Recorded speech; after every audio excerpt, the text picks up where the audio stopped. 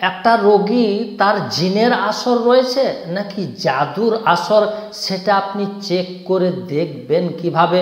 পরীক্ষা করে দেখবেন কীভাবে যে তার শরীরে জিনের আসর রয়েছে নাকি জাদুর আসর রয়েছে, আর সেটাই শিখিয়ে দেব আজ আপনাদেরকে এই ভিডিওতেই ইনশা আল্লাহ এই পদ্ধতিটি অবলম্বন করে আপনি খুব সহজেই যে কোনো রোগীর চেক করে আপনি দেখে নিতে পারবেন তার শরীরে জাদুর আসর রয়েছে নাকি জিন্নাতি কোনো সমস্যা রয়েছে। আর এটি শিখতে চাইলে ভিডিওটিকে আপনি বিন্দু মাত্র স্কিপ না করে শেষ মুহূর্ত পর্যন্ত মনোযোগ সহকারে দেখতে থাকুন আর চ্যানেলটিকে টুক করে সাবস্ক্রাইব করে দিয়ে পাশের বেল বাটনটিকে আপনি দাবিয়ে দিন। কেননা আপনারা জানেন, আমি এই ধরনেরই নতুন নতুন একটা করে ভিডিও নিয়ে আপনাদের সাথে এসে উপস্থিত হয়ে থাকি। তো চলুন বন্ধুরা, মূল ওই পদ্ধতিটার দিকে আগিয়ে যাওয়া যাক। কীভাবে আপনি চেক করে দেখবেন রোগীটার শরীরে জিনের আসর রয়েছে নাকি জাদুর আসর রয়েছে? আমি হারুন রশিদ, আপনারা দেখছেন হানাফি কেল্লা মিডিয়া। এটি পরীক্ষা করে দেখার জন্য প্রয়োজন সুতো। এই সুতোটা দিয়ে আপনাকে দুই রকমভাবে দুইটা মাপ করতে হবে। এই দুই রকম মাপের মধ্য থেকে এক ধরনের মাপ আপনি করবেন। নাম্বার এক আপনার বাঁ হাতের সবচাইতে যেটা বড় আঙ্গুল, এই বড় আঙ্গুলের ডগা থেকে কাঁধের এই হাড় পর্যন্ত আপনি সুতোটিকে মাপ করে নেবেন আর ওই মাপের এগারোটি সুতো আপনি নিয়ে নেবেন। কিংবা দুই নম্বর মাপ, মাথার চুলের গোড়া থেকে পায়ের বৃদ্ধ আঙ্গুলি পর্যন্ত একটা মাপ নিয়ে নেবেন। এগারো পিস সুতো আপনি নিয়ে নেবেন। এই দুই ধরনের মাপের মধ্যে হতে এক ধরনের মাপ আপনি নেবেন।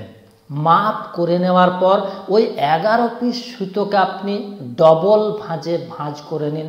অর্থাৎ এগারো পিস সুতোকে আপনি ডবল একটা ভাঁজ করে নিলে সেটা বাইশ পিস হয়ে যায়। এবার ওই সুতোগুলোকে হাতের মধ্যে ধরে একবার সুরা কোরাইশ, একবার সুরা ফালাক একবার সুরা নাস, একবার সুরা ফাতিহা পাঠ করে ওই সুতোর মধ্যে ফু দিয়ে সজরে একটা গিঁট লাগিয়ে দিন।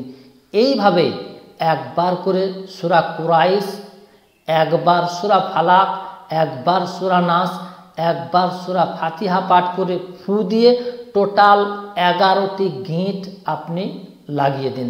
যখন আপনার গেঁট লাগানো হয়ে যাবে, তখন এই সুতোটা দিয়েই আপনি পরীক্ষা করে দেখে নিতে পারবেন খুব সহজে যে রোগীর শরীরে জাদুর আসর রয়েছে নাকি জিনের আসর রয়েছে। এবার এই সুতোটি দিয়ে তিন রকমভাবে পরীক্ষা করা যায়।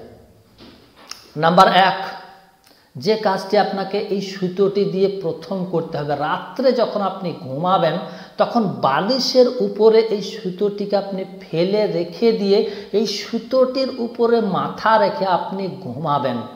সকালবেলায় উঠে ওই সুতোর গেঁটগুলোকে আপনি খুলবেন।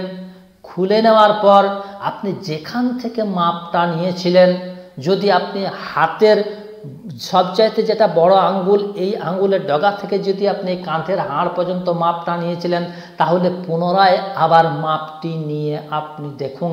কিংবা আপনি যদি মাথের মাথার চুলের গোড়া থেকে পায়ের বৃদ্ধ আঙ্গুলি পর্যন্ত মাপটা নিয়েছিলেন তাহলে পুনরায় আবার মাপ করে দেখুন গিঁটগুলোকে খুলে। সুতোটা যদি এক আঙ্গুল, দুই আঙ্গুল, তিন আঙ্গুল, চার আঙ্গুল পরিমাণ বেড়ে যায়, তাহলে আপনি জানবেন রোগীটার শরীরে রয়েছে জিন্নাতি আসর, জিনের আসর। আর সুতোটা যদি এক আঙ্গুল, দুই আঙ্গুল, তিন আঙ্গুল পরিমাণ কমে যায়, তাহলে আপনি জেনে নেবেন রোগীটার শরীরে রয়েছে জাদুর আসর। নাম্বার দুই পরীক্ষা, এই সুতোটিকে আপনি কাঠ কয়লার আঙ্গার করবেন। কাঠ কয়লার আঙ্গারের মধ্যে আপনি এই সুতোটিকে ফেলে দেবেন। গেট খোলা বা গেট লাগানো অবস্থায় সুতোটিকে ওই আগুনের আঙ্গারের উপরে ফেলে দিলেই সেটা পুড়তে আরম্ভ করবে এবং সেখান থেকে ধোঁয়া উঠতে আরম্ভ করবে।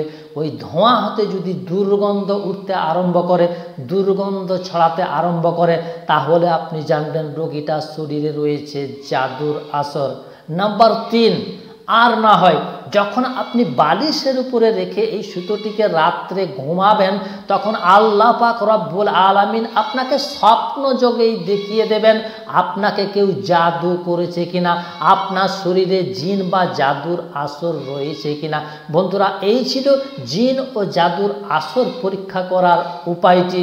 ভিডিওটি আপনাদেরকে ভালো লাগলে অবশ্যই একটা লাইক চ্যানেলে নতুন এসে থাকলে এক্ষুনি চ্যানেলটিকে করে দিন সাবস্ক্রাইব দেখা হবে পরবর্তী আবার অন্য কোনো ভিডিওতে ইনশা আল্লাহ সে পর্যন্ত আপনারা সকলেই ভালো থাকুন, সুস্থ থাকুন।